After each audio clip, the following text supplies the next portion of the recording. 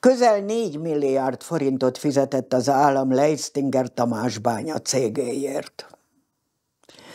Az átlátszó tavaly nyáron számolt be arról, hogy a barna szén és lignit bányászattal foglalkozó Ormos Szén ZRT nem sokkal az állami kézbe kerülése után másfél milliárdos támogatást kapott a magyar kormánytól. Az energiaválság miatt 2022-ben a kormány energiaveszélyhelyzeti csomagról döntött, amelynek része volt a szénbányászat és lignit kitermelés fokozása is. Emellett Barna Kőszén program is indult, Nagy Márton gazdaságfejlesztési miniszter pedig 2022. novemberében a belügyminisztérium alá utalt két szénbányászattal foglalkozó céget, ezek egyike volt az ormos szén. Az ormos szén állami tulajdonba kerülésének részleteiről az átlátszó közérdekű adatigénylésben kérdezte a Magyar Nemzeti Vagyonkezelőt, és kérte az adásvételi szerződés kiadását.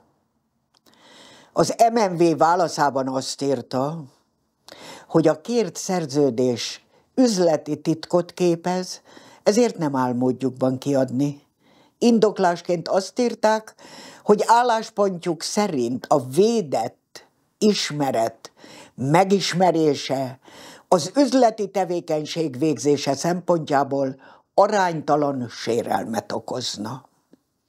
Az átlátszó nem értett egyet az MMV álláspontjával, hiszen az Ormos ZRT-t az állam vette meg közpénzből, így a szerződés és a vételár is közérdekű adat. Ezért pert indítottunk, a bíróság pedig kötelezte az MMV-t arra, hogy adják ki az ormos szén megvásárlása kapcsán kötött adásvételi szerződést. Ebből kiderült, hogy az állam 3958 millió forintért, azaz közel 4 milliárdért vásárolta meg az Ormos Szén ZRT-t. Az Ormos Szénben korábban Leistinger Tamás, Magyarország egyik leggazdagabb embere volt a többségi tulajdonos. A kormánymédia által a baloldal legbefolyásosabb vörösbárójának nevezett milliárdos, korábban a szocialistákkal ápolt jó kapcsolatokat, az elmúlt tíz évben azonban számos alkalommal együttműködött az Orbán kormányjal.